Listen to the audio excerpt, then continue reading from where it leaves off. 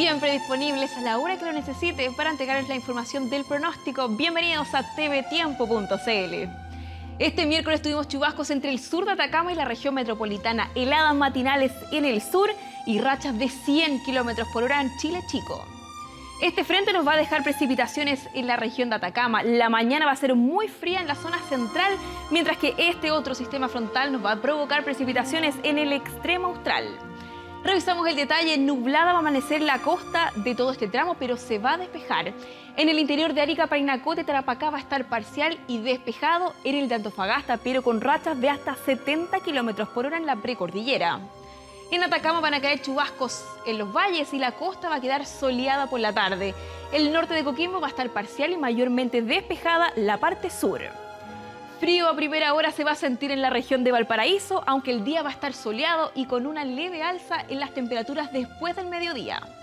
O'Higgins va a tener nubes por la mañana y despejada va a estar la tarde. El Maule amanece con neblina en los valles, pero va a quedar soleado. Bajan las mínimas, pero suben levemente las máximas en el tramo. Estará mayormente despejado y fresco este jueves en Ñuble y Biobío. La Araucanía va a variar de nublado a parcial y sobre todo van a tener una mañana fría. Los ríos también va a variar de solo nubes a algo de sol, cielo cubierto en los lagos con chubascos en el sur de la región. Aysem espera lluvia que a ratos podría ser intensa, mientras que Magallanes va a estar con cielo nublado y rachas de 80 kilómetros por hora. Nada más que nubes se van a ver en el archipiélago de Juan Fernández, precipitaciones al terminar el día en Rapa Nui y nevadas en la isla Rey Jorge. Si por algún motivo tiene que salir temprano este jueves en Santiago, abríguese porque la temperatura mínima en la ciudad será de apenas 0 grados. La tarde va a tener sol y elevará un poco las temperaturas. 16 grados esperamos de máxima en el centro de Santiago.